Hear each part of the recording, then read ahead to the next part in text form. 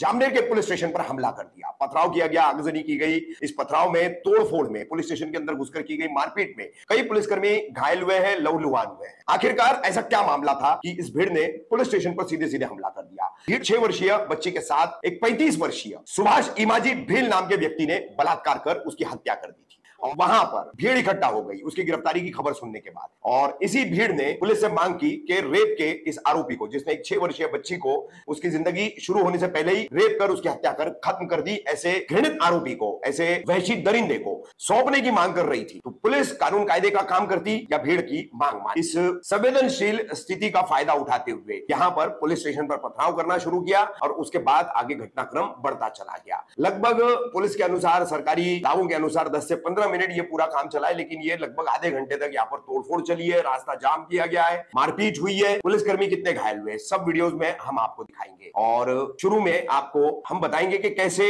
ये बलात्कार का केस बना, और सुभाष भील कौन है, जो इसमें मुख्य आरोपी है, और पुलिस ने जिसे गिरफ़्तार किया है।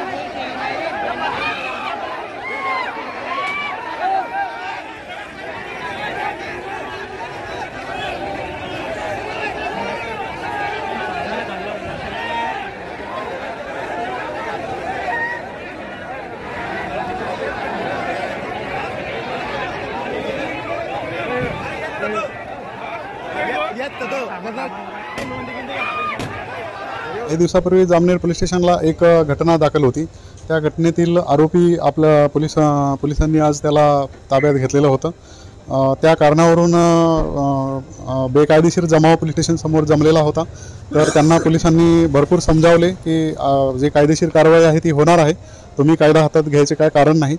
परंतु त्यांनी काही न ऐकता पोलिसांवर दगडफेक केलेली आहे पोलीस स्टेशनवर दगडफेक केलेली आहे आणि त्याच्यामध्ये सात ते आठ पोलीस अंमलदार आपले जखमी झालेले आहेत. पोलीस स्टेशनचे जे अधिकारी आहेत ते जखमी झालेले आहेत.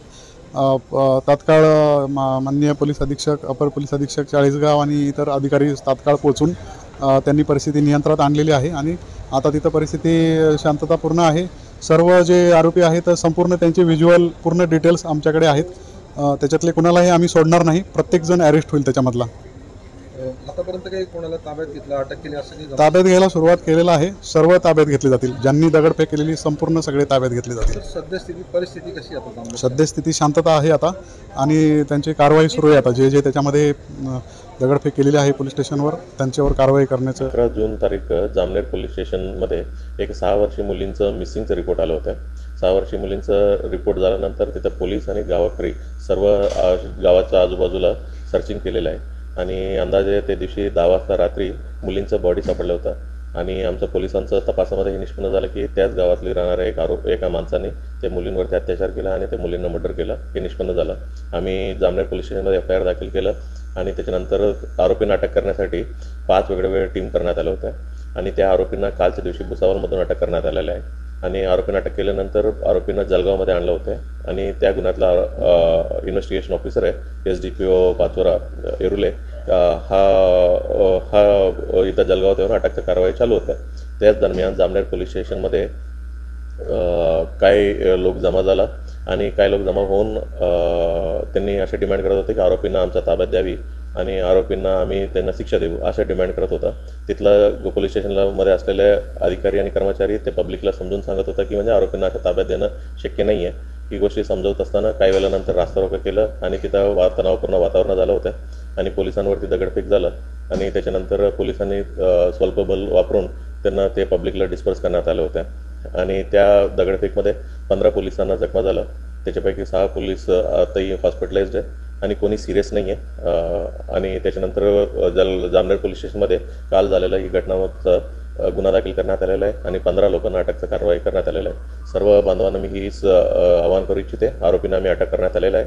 तपास एक एस डी पी ओ दर्जाचा अधिकाऱ्यांकडे तपास आहे.